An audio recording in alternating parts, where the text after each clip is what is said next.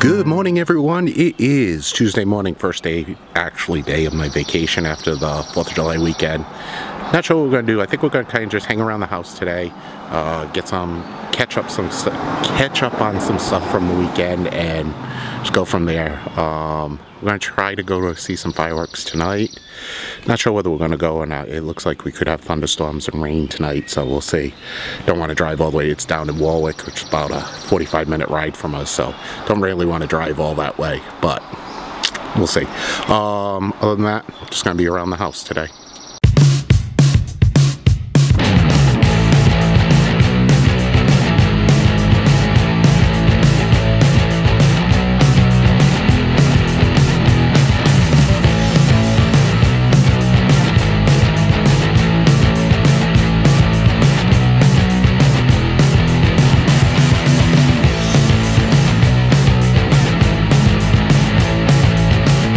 Everyone, just came down to the office. I'm to do a little bit of work here.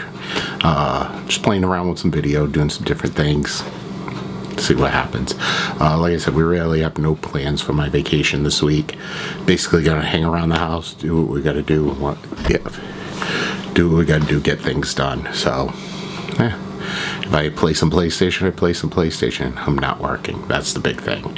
Uh, don't have to do the drive to Providence and the drive back. So that's my the big thing that I'm happy with.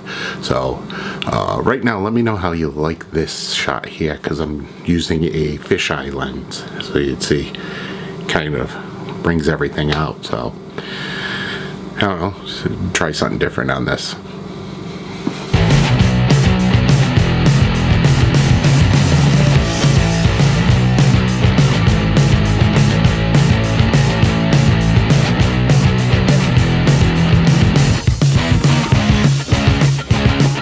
All right, we are heading out. We're going to see the movie Finding Dory.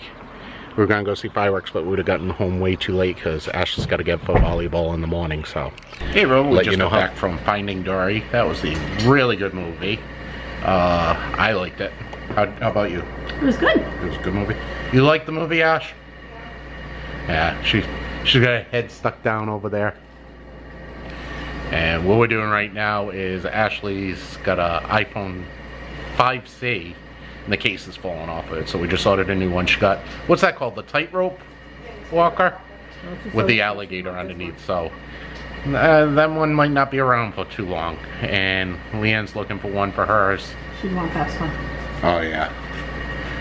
She That's just found a. You would have wanted. Mommy, mommy just found one you'd like. Maleficent with a purple case.